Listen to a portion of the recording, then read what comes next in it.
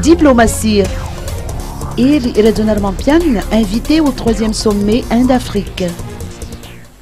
Madagascar figure dans la liste des pays participants au troisième sommet Inde-Afrique qui aura lieu à New Delhi du 26 au 30 octobre prochain, d'après son Excellence M. Chandra Balad Tatliyal, ambassadeur de l'Inde à Madagascar, à l'occasion du 68e anniversaire de l'indépendance de l'Inde, célébré samedi dernier à la résidence de l'Inde.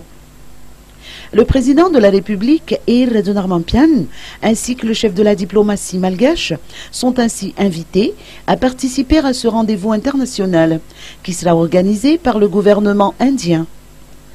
Le renforcement de la coopération multilatérale et bilatérale entre l'Inde et les pays africains sera le clou des débats à cette occasion.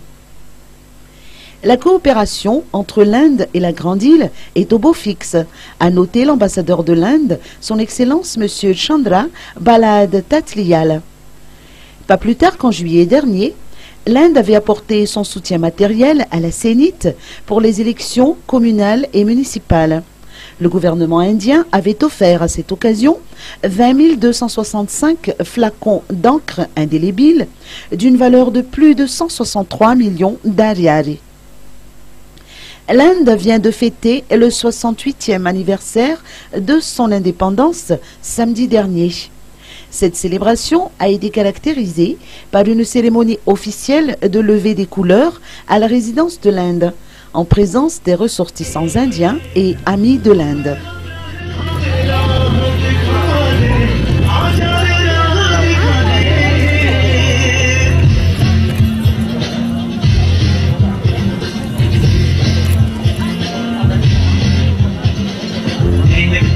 लाठी पकड़ी चलते थे वो शान से सालिम का पे घर